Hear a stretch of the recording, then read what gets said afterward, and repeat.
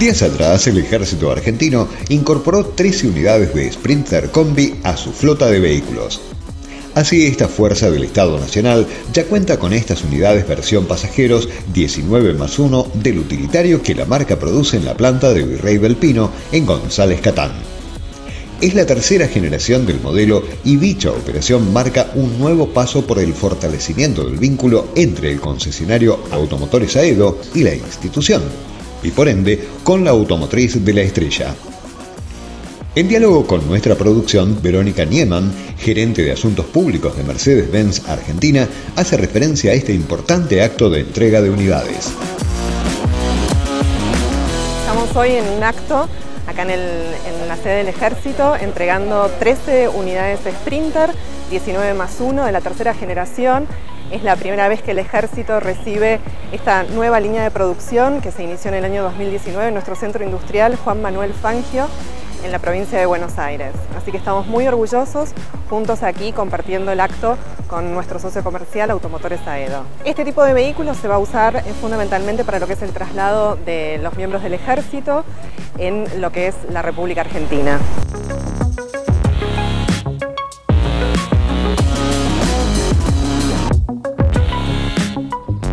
Ahora es Juan Manuel Bernengo, presidente de Automotores Aedo, quien habla de la versión elegida por el ejército y las adaptaciones específicas que se le hicieron.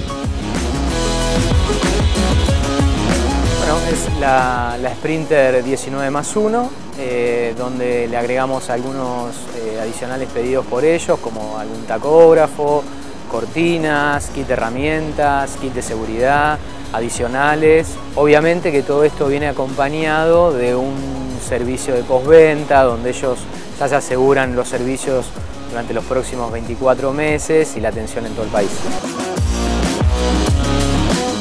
Sprinter es un modelo que se produce en la planta Juan Manuel Fangio desde hace más de dos décadas, un hecho de gran importancia para la compañía alemana.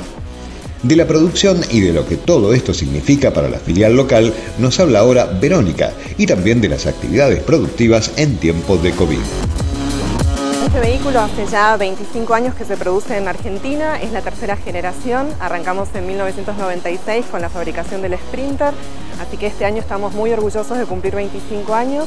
Para nosotros es un vehículo eh, muy importante, eh, muy versátil también, le da a todos los clientes una posibilidad de uso muy distinto, tiene tres versiones, hoy estamos entregando eh, combis o la versión bus, para transporte de pasajeros también tenemos transporte de carga, furgón abierto y el furgón cerrado.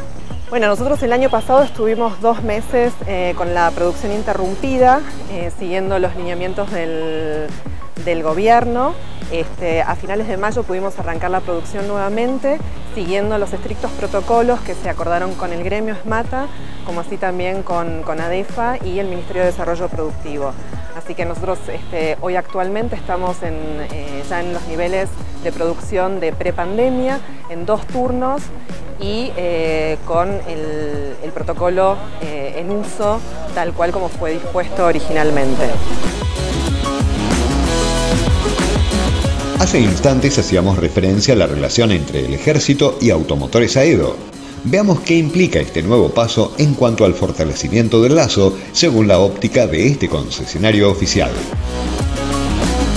No, la realidad que ellos este, valoran muchísimo eh, la producción nacional y la verdad que tienen una, sinergia muy importante con la marca Mercedes-Benz, están muy contentos, más allá de que por supuesto esto es una compulsa de precios, es una licitación pública y tenemos que competir con, otros, con otras marcas, pero están muy conformes con el servicio de Mercedes-Benz.